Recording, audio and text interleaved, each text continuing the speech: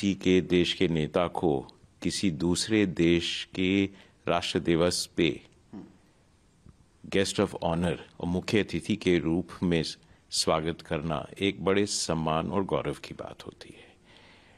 तो ये इस बात का भी संकेत है कि भारत और फ्रांस के संबंध स्ट्रेटेजिक पार्टनरशिप बड़े घनिष्ठ हैं, बड़े सशक्त हैं और आने वाले समय में इसकी भूमिका और बढ़ेगी, न केवल हम दोनों देशों के लिए, न केवल यूरोप और भारत के लिए, बल्कि पूरे विश्व के संदर्भ में अगर आप देखें तो ये संबंध बहुत महत्वपूर्ण होगा। लेकिन इस बात का भी ये संकेत है कि आज का काज का समय जो है, ये भारत का क्षण है।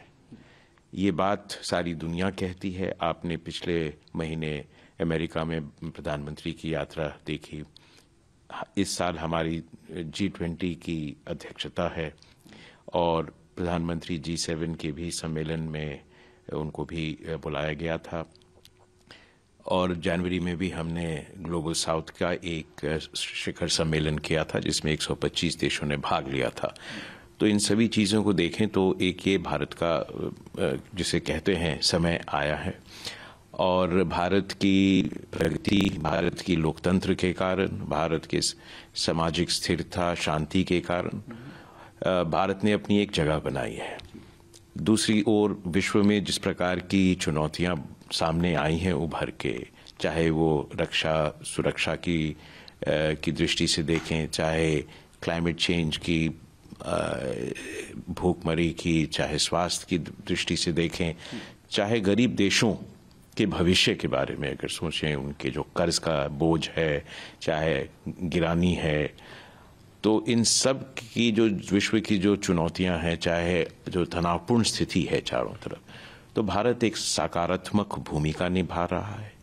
एक ग्लोबल सोल्यूशन प्रोवाइडर के रूप में उभर के आया है और इसमें प्रधानमंत्री की, का सबसे बड़े योगदान रहा है। उनकी दृष्टि, उनकी प्रोएक्टिव अप्रोच के कारण तो इन सभी चीज़ों के कारण भारत को एक तरह से यह सम्मान मिल रहा है।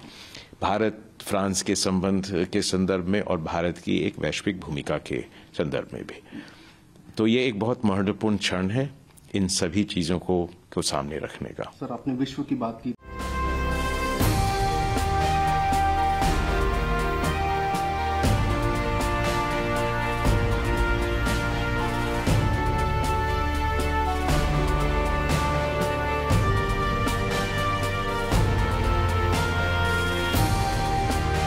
भारत और फ्रांस के संबंध बड़े सामूहिक हैं। ये केवल किसी एक दायरे में मज़बूत नहीं है, ये इसके कई स्तंभ हैं।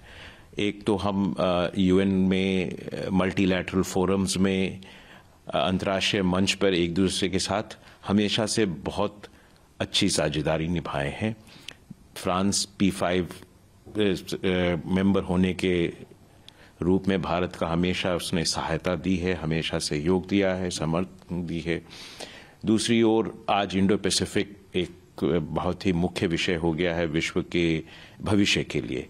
और उसमें भी फ्रांस एक फ्रांस की अपनी इंडो, इंडियन ओशन में भी और पैसिफिक ओशन में भी उसकी अपनी टेरिटरीज हैं, उसकी अपनी ईजेड हैं तो एक तरह से वो स्थायी शक्ति भी है इंडो पैसिफिक में। भारत का एक विशेष मित्र है, विशेष साझेदार है और हम जब इंडो पैसिफिक की भविष्य की बात करते हैं, रक्षा सुरक्षा की बात करते हैं, उसके प्रगति की बात करते हैं इसकी समृद्धि की बात करते हैं तो ये जो हमारा संबंध है, इसकी एक बहुत बड़ी भूमिका होगी। एक हम डिप्लोमेटिक स्तर पे बहुत कुछ करने, करते हैं और अन्य देशों को मदद करने में भी हम बहुत साथ मिलकर काम कर रहे हैं। एक तो ये दूसरा, आपने ज़िक्र किया रक्षा, डिफेंस और सिक्योरिटी के के विषय का, उसमें हमारे संबंध शायद ही इतने अतुलनीय हैं। शायद ही कोई और देश के साथ इतने सामूहिक संबंध हों, चाहे वो मिलिट्री एक्सरसाइजेज हो इंटेलिजेंस कोऑपरेशन हो रीजनल क्षेत्रीय संदर्भ में जो हम काम करते हैं, या हम डिफेंस इक्विपमेंट की बात करें, वो अपनी जगह पे है। तीसरा, हम स्पेस में, अंतरिक्ष में ये हम हमेशा हमारे साथ रहे हैं। हमारी अंतरिक्ष की यात्रा भी एक तरह से इनके साथ शुरू हुई थी। सिविल न्यूक्लियर कोऑपरेशन में भी ये हमारे मुख्य साझेदार के रूप में है। और ये एक एक ये स्तंभ हुआ। तीसरा स्तंभ हमारा है संबंध का इकोनॉमिक और टेक्नोलॉजी का।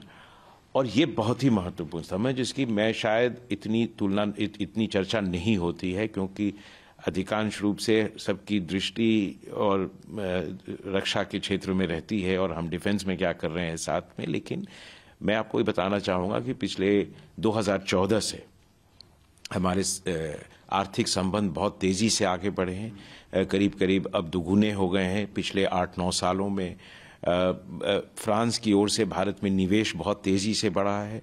फ्रांस की सबसे बड़ी कंपनी, जितनी भी आप बड़ी कंपनी का नाम लें, वो भारत में मौजूद हैं। और केवल भारत के मार्केट के लिए नहीं, वो भारत को अब पिछले कुछ सालों में अपने ग्लोबल सप्लाई चेन का बहुत अहम हिस्सा बना रहे हैं और साथ ही साथ भारत को एक एक्सपोर्ट हब के रूप में देखते हैं। भारत को research technology and development innovation का एक बहुत बड़ा हब मानते हैं।